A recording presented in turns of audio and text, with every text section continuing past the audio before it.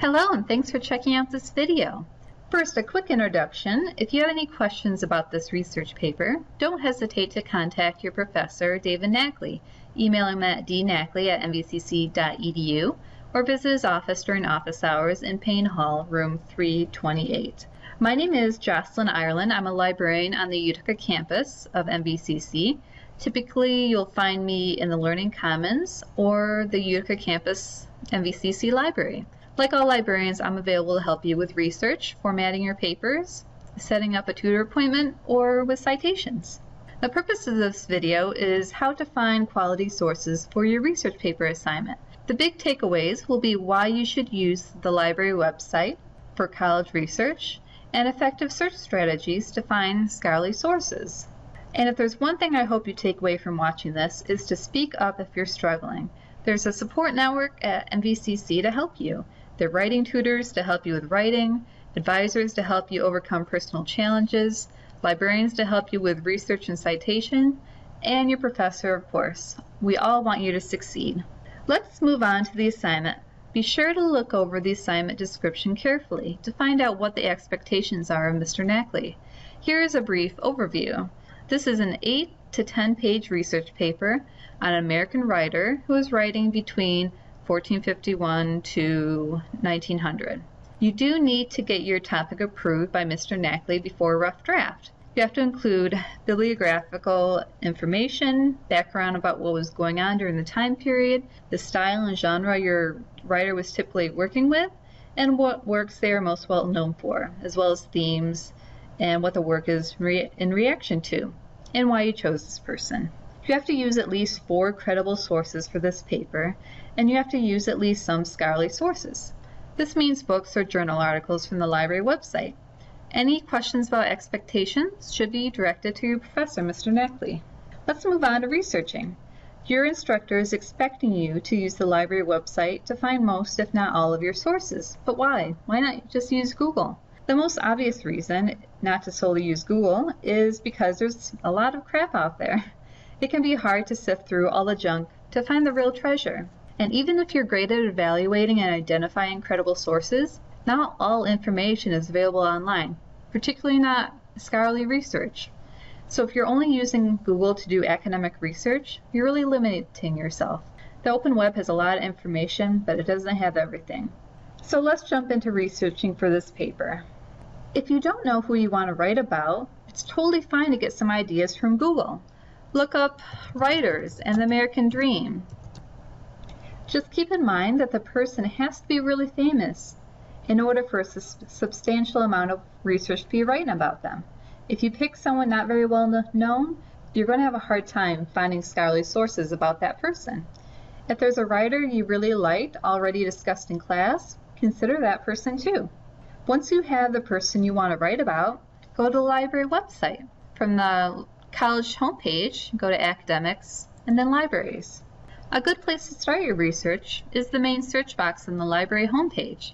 Let's say you're interested in researching Ben Franklin. Just put your topic in the search box, press enter. Please note that spelling does matter when you're searching on the library website. If you don't spell something correctly, you may get zero results, or at least nothing relevant. Let's look at our results. So if you're searching for a writer very well known, then you may get an encyclopedia article as your first result. Here you'll have the basics of who, what, and where about your person. Remember, your paper isn't just a biography though. This is just one piece of the mosaic that your paper will become. As you read your sources, take a critical look. Ask yourself, why was this person important? What kind of impact did this person have? What led this person to write about what they did? And what kind of message did the writer want to get across to the audience? Write down your questions and seek sources to answer those questions. Uh, one source will not answer all of your questions. Each source is like a piece to the puzzle. Let's see what other sources our search retrieved. When doing a research paper, it's a good idea to use a variety of material types. We've already seen an encyclopedia article, which is a type of reference entry and it gives a broad overview about a topic. Books will provide more context and detail. Peer review articles, also called scholarly articles, tend to be research-based, focused on something very specific, and they've gone through a rigorous publication process. When you narrow your results to books, you'll retrieve both online and physical book records. Physical book records will include what library they're available at and a call number. That's the location on the shelf. A librarian is always happy to help you track down the book, so don't hesitate to ask. If you sign in to your library account, you can also put the item on hold. You log into your library account with your M number and your six-digit PIN number. This is the same login information you use to log into SIRS. So I've logged in and now I could place a hold. It'll ask you which library you want to pick it up and then you submit your request. If the item is already available, it should be available at the circulation desk that day or the next. There are also audiovisual resources, which are usually videos that you could get online or might be available as a physical copy in the library. If you're having trouble finding sources, a librarian is happy to help, and we can also get sources sent to us from another library through interlibrary loan. After you've got some basics about your person, it's a good idea to add some more keywords to your search. Connect keywords in a meaningful way with and or or. Stay simple and use the same type of vocabulary scholars would use when they're writing about the person. You can also put quotation marks around phrases. I'm going to narrow my results to peer-reviewed journal articles.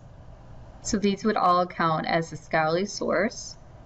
Once you find something that's interesting to you, select Available Online. If you scroll down, most records will have a description, which is a summary of the article, so it'll give you a better idea if this is something worth looking into further. And if it's available online, it'll have a list of databases that are holding this article. Select one of the databases. Now, if you're off campus, it will ask you to sign in. This is a different login than what we used earlier to sign into the library account. When you're accessing articles from off campus, you have to sign in with your MVCC username and password, which is usually your first initial, last name, day of birth, and last four digits of your social or M number. It's the same login you used for campus Wi-Fi, your student email, or Blackboard. And different databases are going to look different. This is a EBSCO database, so all EBSCO databases usually look the same. They'll have a PDF full text link to link you to the full article. This is an example of a different database called Academic OneFile. It's owned by a different company called Gale. And in this database, it just took us straight to the full text. There was no PDF full text link. This is the article itself. So your view may look different depending on what article you're looking at. No matter what database you're using though, they should have an option to download your article, print it off, save it to a Google account, email it to yourself, and create a citation. I'm going to select the citation button. Since we're in English class, we have to use MLA style, so I'm going to scroll down. So if you think you might use this article for your paper, make sure you save your citation. You're not going to want to try to track down the citation at the last minute or try to recreate this yourself. And just keep in mind that these citations are made by a machine, so it's only as good as whatever data the machine was given. So sometimes there's errors. You always have to proofread these to make sure they were done correctly. And a librarian or a writing tutor are happy to help you do that. It's a good idea to check out other databases because different databases are going to provide access to different journals. This search box provides access to a lot of different databases, but doesn't search everything.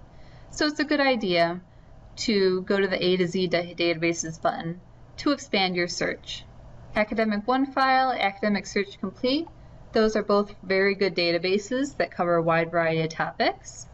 I'm going to demonstrate using a history database because for this paper, you're going to need to explore historical context. So I'm going to use this All Subjects drop-down menu, select History, and these databases specialize in historical topics.